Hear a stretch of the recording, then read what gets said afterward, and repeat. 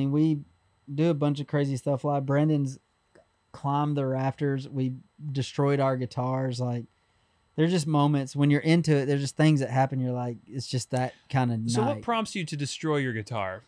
uh, I don't know. I don't like.